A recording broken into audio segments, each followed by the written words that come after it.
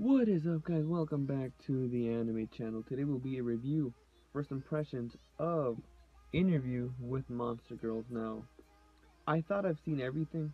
Wait, wait, wait, wait, let me take that back because there's also another anime that's called Monster Musume. Now, these two shows are very similar, but there's one key difference.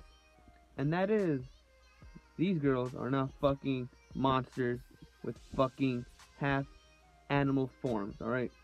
Whoever has seen Monster Musume, you guys need fucking help. I don't know why you would watch that show. I do not know why you would even consider watching that show. I just saw the front cover of the poster, you know, what's on my anime list, and I was like, no, get that shit away from me. That show is for the perviest of the perverts out there, man. That show is for people that have seen every single ecchi show out there and they got so bored, or you know, they like that shit. I have no fucking idea that they had to watch that. So, if you watch that, again, man, you guys need fucking help. So, that show is similar to this show, but like I said, that's the key difference, which makes a big fucking difference.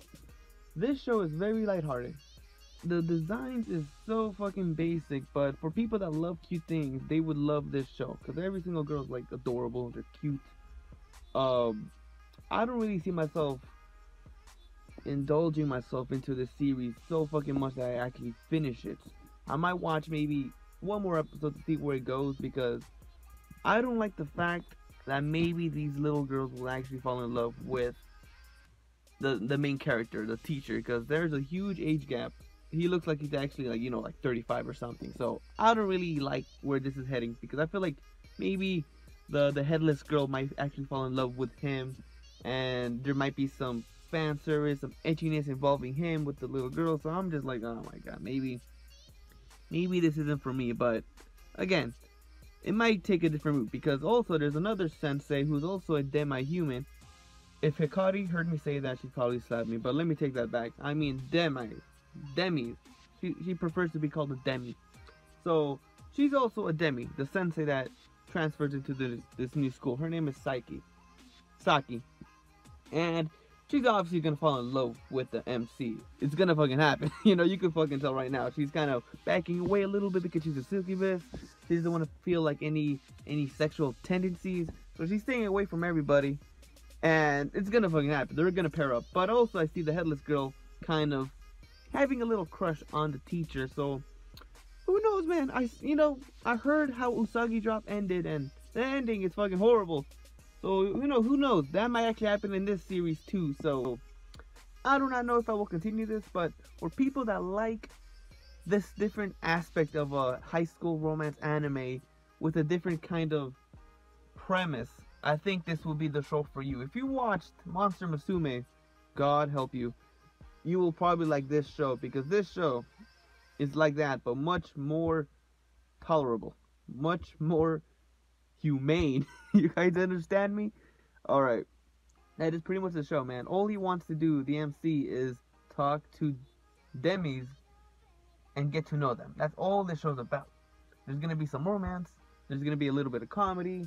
There's gonna be a lot of stories involving the monster girls on how they had to adjust their life to society and all the trouble that they go through every single day. So there's gonna be a lot of heartfelt stories involved in this series too. I could already tell. We see that the headless girl, you know, she's always kind of like, she seems down a little bit because she she feels like no one understands what she's really going through until Hikari shows up. And you know, I like Hikari as a character because she's just open. She's out there. You know, she doesn't give a fuck what people think, and she just says what's on her mind instantly. It must suck having to carry your head around all the fucking time. So she just specifically says that to her face while everyone else is kind of avoiding the fact that she's headless. You get me? So I like that about her character. And you could already tell there's going to be a lot of heartfelt stories involving every single character in their own specific arc. And it's going to be the MC, Takahashi, helping them through, counseling them, and helping them adjust to their everyday life. So, if you like anything like that, go ahead and give it a shot. I'm not gonna judge you, but if it's Monster Musume, I would fucking judge you, and I would say go get help. But this this series is not like that.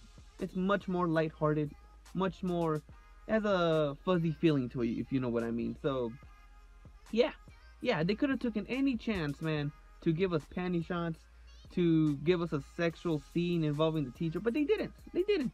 The only sexual scene that, that we actually got was when Hikari, the vampire, she kind of like sneaked up behind the teacher, tried biting him, but she didn't really bite him. He just she just used like two pencils to pretend to bite him. But that's her nature. She's playful like that. So it wasn't even nowhere near edgy at all. So I like that about the series. They could have taken any opportunity to give us something erotic, but they didn't. So I could appreciate that. And the only erotic scene I want to see is with the sensei and the succubus because their age gap is not big. So if it's with the little girls, no. If it is, I'm just gonna drop this instantly. But for right now, it's doing good. It's doing good. So yeah, give it a shot. And yeah, it's okay. It's okay. I enjoyed it. I did. So leave me your thoughts down below. What do you guys think about this first episode? Who is your favorite monster girl so far? The Succubus, Saki, the Snow Girl, Yuki, the Vampire, who is my favorite girl right now, Hikari, or the headless girl, uh, I forgot her name, Koyoku. Yeah, who's your favorite? Let me know down below, because I got to go. See you on the next video, guys. Saya, nah.